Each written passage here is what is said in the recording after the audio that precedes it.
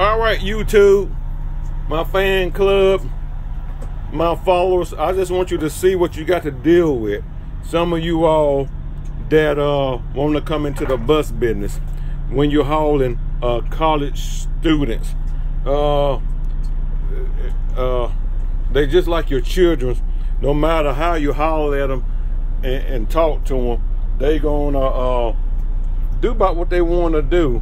And see, this one cleaning. They inside the uh, stadium. Clemson is, is playing somebody. So I'm in uh, I'm in uh, in Charlotte, North Carolina, and I just want you to. I just walking through the bus and let you see.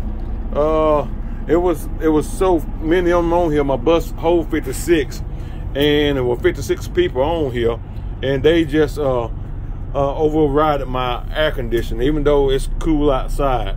And so, but it's just junky. But I'm gonna do a little cleaning while they at the game. And Lord have mercy. I'm glad I ain't got no trip tomorrow because this is a mess. But this what this is what happens sometime on your bus.